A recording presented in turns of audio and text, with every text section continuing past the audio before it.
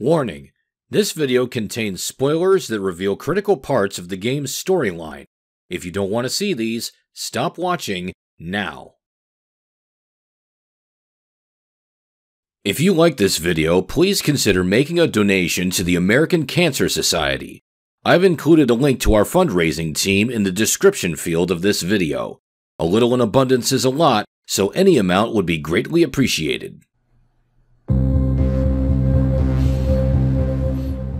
Hello again, my friends. Eric Pearson here, and I'd like to share with you a demo for an upcoming game called Interference.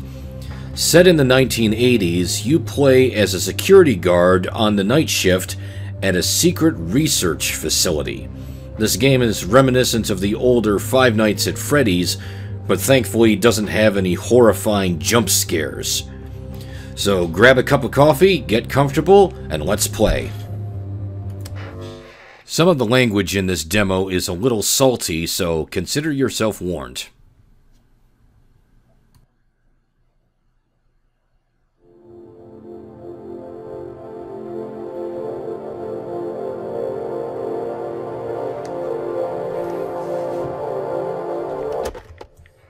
Hey, it's Valerie.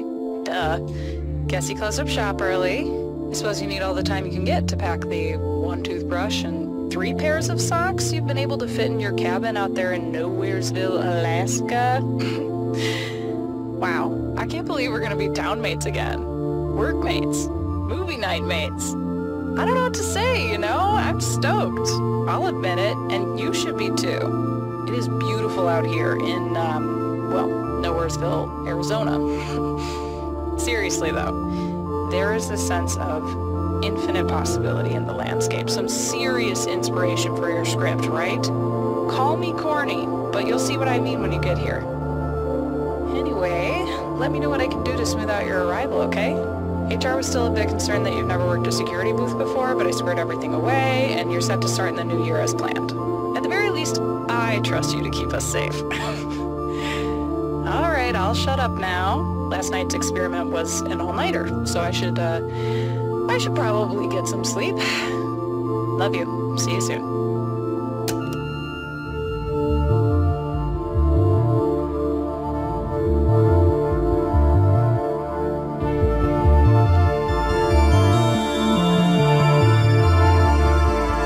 Are you serious? You've been with the Barclay Institute for what, three months, and that's it? See you later? When were you planning on telling me? So now we have to decide how to respond to this. And it's implied that it looks like you, the main character, are looking to quit this job. I try to be nice about these things, so I'm gonna say, I'm sorry, I didn't know when I should tell you. Any time would have been better than right now. Alright, cool. So, now on top of the critical experiment we're about to conduct, I have to worry about you abandoning ship. And thanks for breaking the news from all the way out there in your cozy guard booth while we're at work, instead of telling me to my face. So, there's a lot that I can say. I can say this, I know this isn't ideal, but it's my life, I get to decide when I move. Or I can say once again, I really am sorry. Let's try that. So now what? What's next with that Swiss cheese resume of yours? Barclay wouldn't have even looked at it if I hadn't pulled some strings to get you here. Hmm. Okay. Oh, she has a point about the job hopping. So, I'll try and be nice again. And I appreciate what you did, but I still think this is the best for me. Burning another bridge with yet another employer is not what's best. What are you gonna do? Go back to New York? The days of crashing on our friends' couches are over. I mean, Ben just had a kid for God's sake. And who's gonna put in a good word for you? Your boss here sure as hell won't, or the last three employers you abandoned. Hmm. Yeah, job hopping is not a good look. So, I can say, I guess, appreciate the support, by the way. Are you agreeing with me, or is the sarcasm a way to avoid talking about this more?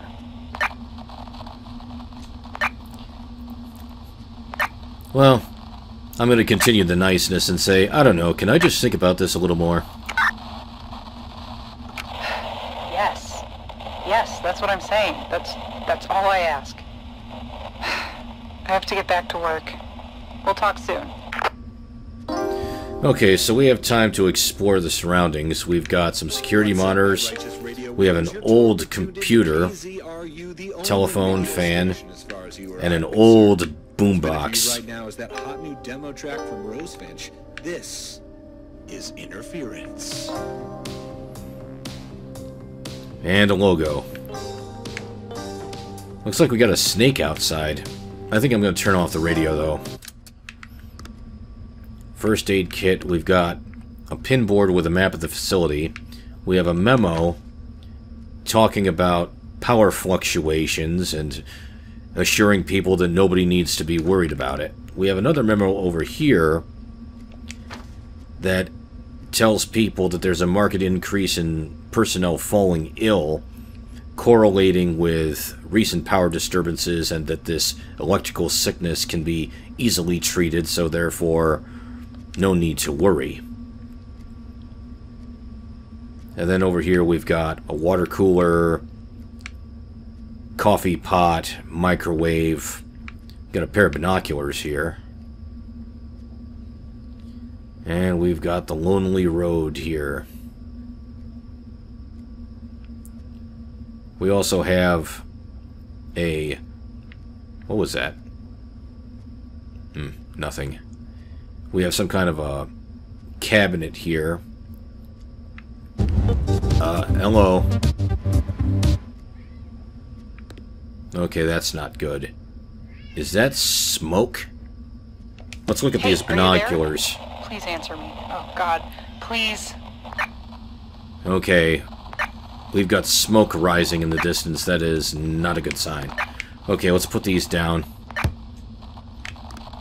And talk to Valerie. So I'm gonna say... Well, yes, except there was an explosion out here. Thank God you're there. Those. Wait. There was an explosion. Are you okay? I'm gonna say... I'm fine, are you? Good. Good. I'm okay, but things aren't looking so good over here in the lab. Those uh, unseen order people, the um, you know that cult that's always bothering us. They. Those goddamn pests. More like it. Dr. Lipton, please. Yeah, those somehow got into the facility and are trying to break into the central lab. Like, this goes way beyond the picketing and protests. The blast doors are engaged, but they're armed to the teeth. It's only a matter of time before they get to us. We could override the security protocols on one of the doors, but those cultists cut power to the backup generators and we're trapped inside the lab. If we could just... Wait a minute. You have that power reroute software on your computer, right? I think... Hold on. Williams, would that work? I reckon it would. Do we have a choice? Dr. Lipton. Check your computer. If I'm remembering correctly, you should see the central lab, Sector 5, as offline. Just follow the prompts to authorize a power reroute, and it should take care of the rest. Hopefully that'll be enough to get these doors open. And tell your friend to hurry. I mean, no rush. Okay, so it says press spacebar to request the reroute authorization code. Oh, there's a telephone. Welcome to the Barclay Institute Please, Automated Phone please, we Authorization gotta get these doors open. Your authorization Come on, I code need you for to do this. Boost B Power Reroute is five one five nine. Okay. If you did not request this authorization, What's going on? Your computer's working, right? Doors are online. Go, go, We got it! Oh, thank you. I'll radio when I'm safe. I might need your help getting out of the facility. I got a feeling we're just getting started. And so it begins. And I agree, this story is off to a very good start. I'm I'm fairly intrigued by this. So I'm looking forward to when the full game comes out sometime next year. So I encourage you to uh, check out the demo of this. There's more that you can explore in the room, but I may save that for a future video. So thank you very much for watching, and join me next time. Eric Pearson, signing off.